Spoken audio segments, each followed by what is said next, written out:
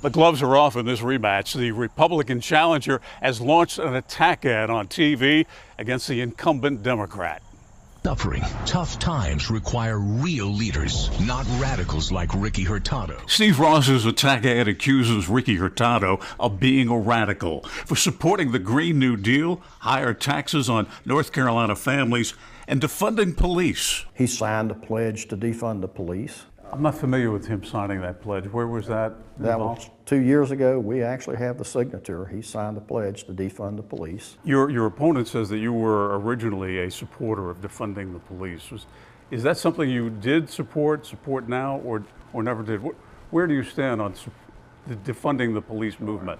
I'm, I'm so glad you bring that up. I'm so disappointed that my opponent continues to um, spout misinformation across the county. I'm here to work on real issues and real solutions for the people of Alamance County. Um, and Ross has been busy spouting misinformation about so much of my record. WXII 12 News investigated Ross's claims but found no evidence to support them. The TV ad cites Future Now Fund, a coalition of progressive groups focused on legislative races for its claim that Hurtado supports defunding police.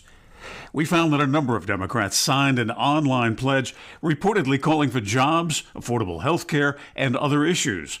But the pledge makes no mention of defunding police. we, we don't need to be defunding the police. And so um, that really concerns me. This isn't the first time a Republican candidate running for the North Carolina House has accused their Democratic opponent of defunding the police.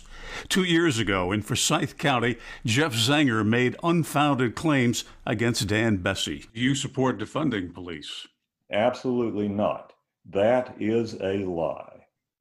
And it is a lie, unfortunately, that has become a part of political attack ads across the country.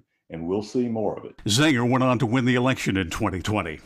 Today, the same unfounded claims have surfaced in Alamance County in the race between Steve Ross and Ricky Hurtado. Two years ago, we actually have the signature. He signed a pledge to defund the police.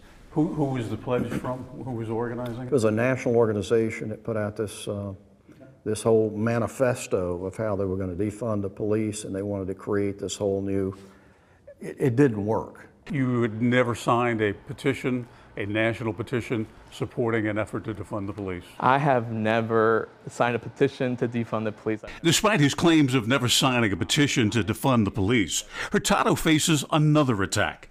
A group linked to House Speaker Tim Moore, called the Carolina Leadership Coalition, mailed this campaign flyer to Alamance County voters.